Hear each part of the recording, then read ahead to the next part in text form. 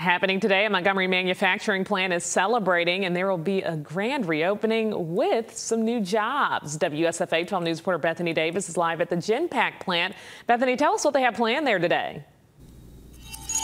Yeah, so Genpak is officially reopening this freshly renovated facility. It's adding 155 new jobs and keeping 145 jobs on the payroll for a total investment of about $22.8 million. This is Anna Buckalew, who's the president and CEO of the Montgomery Area Chamber of Commerce. And Jeff Hebert is the uh, the manager here. He's the, the guy in charge here at Genpak. Let's talk a little bit about the fact that this is not a new company to this area, but this investment and this impact and that's pretty big. It's it's big. It's a big day. You know, it's it's great to hear um, new announcements and things like that. But the really exciting thing in our community is when a company that's been here 40 years chooses to stay here, grow here, and expand here.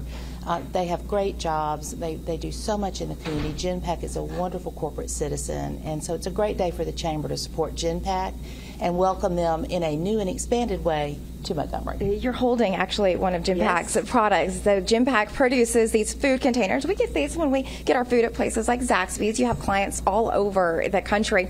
You've just renovated this 400,000 square foot facility. So what exactly are those upgrades and what does that mean for you moving forward? Yeah, so we, we're doing this in a two-phase process. First phase was get back and operating like we were before we had closed.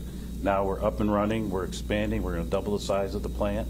The renovations we've looked at, we've increased the number of, of lines we have, the equipment that we run here, and we're increasing jobs. I couldn't have done it without the help of the chamber and everything they've done.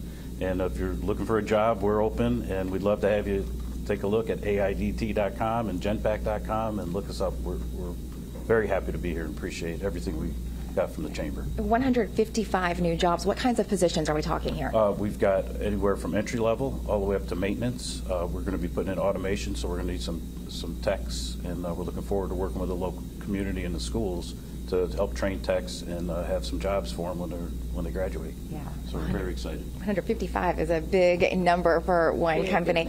We'll stick around. We're going to talk a little bit more this morning about what that means, what message that sends, not just about this company, but about the workforce here in this community and this area, and the message it's sending out around the state. A little bit later, guys. All right, Bethany, and again, that ceremony starts at 10 this morning.